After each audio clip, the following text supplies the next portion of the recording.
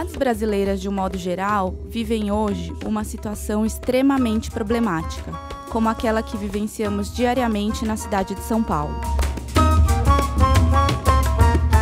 Segundo o IBGE, 6% da população brasileira mora em aglomerados subnormais, o equivalente a mais de 3 milhões de famílias e 11 milhões de pessoas.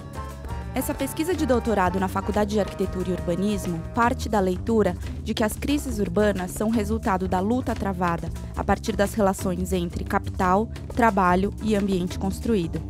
Diante disso, as cidades brasileiras revelam uma enorme desigualdade socioespacial, que caminha ainda na contramão de um desenvolvimento sustentável.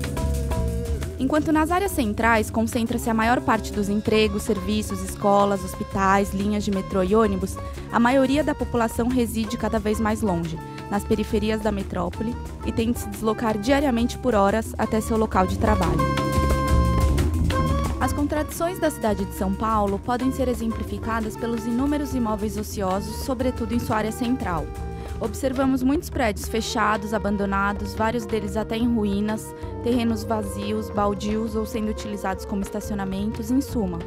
imóveis que não estão cumprindo a função social da propriedade, que nada mais é que dar-lhes usos para fazer jus aos investimentos públicos, como água, esgoto, luz, rua asfaltada, etc., para eles poderem funcionar e existir. Ainda constatamos em todos esses casos a subutilização da terra urbana num dos lugares com a melhor infraestrutura na cidade.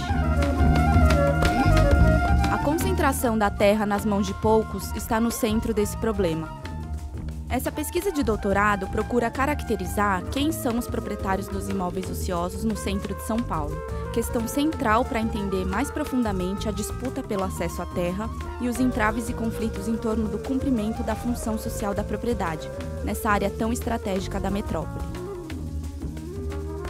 A metodologia utilizada se ampara principalmente no levantamento de dados primários, como a base de dados de proprietários de PTU disponível pela Prefeitura de São Paulo, no cadastro das empresas na Junta Comercial do Estado, matrículas e escrituras dos terrenos e entrevistas com os donos desses imóveis vazios.